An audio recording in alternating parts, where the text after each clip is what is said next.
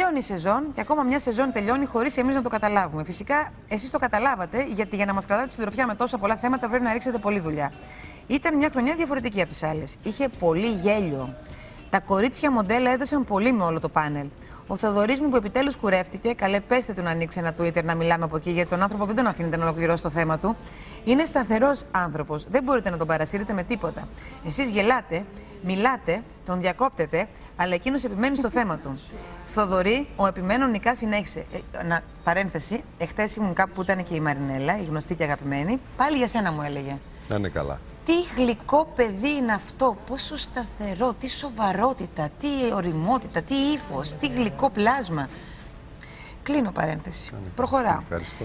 Ε, ο Γρηγοράκης ίδιος όπως πάντα και έτσι να παραμείνει. Αυτό που, είναι, να, αυτό που είναι να πει θα το πει και δεν τον νοιάζει που θα τον ακούσει όλη η Ελλάδα. Σε παρένθεση, για τα θέματα της Χιρδάρη εννοώ.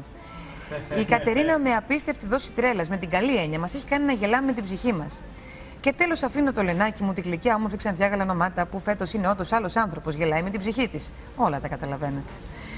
Αχ, αχ, αχ. Η σεζόν ήταν τέλεια. Περάσαμε καλά και να σας ευχαριστήσουμε γι' αυτό. Το χρειαζόμαστε στους καιρούς που είμαστε και να μην ξεχάσω τα παιδιά στα τηλέφωνα, ευγενικά αλλά και με πολύ άγχος να είναι όλα σωστά. Φέτος, Ελένη, μιλήσαμε μια φορά μόνο. Ελπίζω μέχρι το τέλος να τα πούμε. Αυτά τα λίγα και καλά λοιπόν. Καλό καλοκαίρι, καλές διακοπές. Βουτήξτε και για μας γιατί δυστυχώς φέτος δεν τη δούμε τη θαλασσίτσα.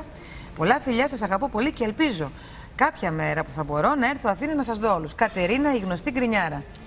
Τα φιλιά μας. Κατερίνα Χιώτη, ναι. Και άλλους πολλούς, οι οποίοι όλοι